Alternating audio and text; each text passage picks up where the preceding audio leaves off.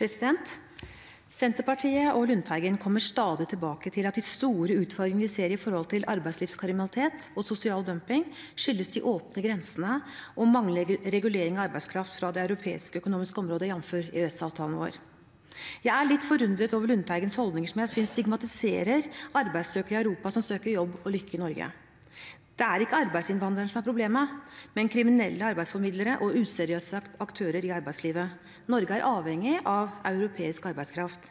Kan Senterpartiet og representanten Lundteigen se at det er mulig å jobbe mot arbeidslivskriminalitet og sosial dumping innenfor de rammene og reglene vi har med EU og EØS-avtalen, som gir arbeidssøkere lov til å flytte seg over landegrensene for å søke arbeid? Lundteigen. Ja, president, det er uh, mulig, det. Det er mulig å arbeide for å forbedre forholdene innenfor EØS-avtalen.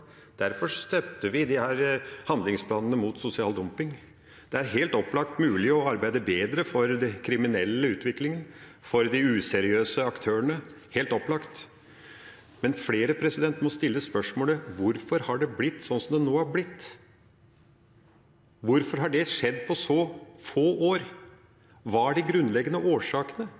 Har det sammenheng med at balansen i arbeidsmarkedet er blitt endra, ved at tilførselen av arbeidskraft er i enkelte bransjer så stor at det presser lønns- og arbeidsvilkår nedover?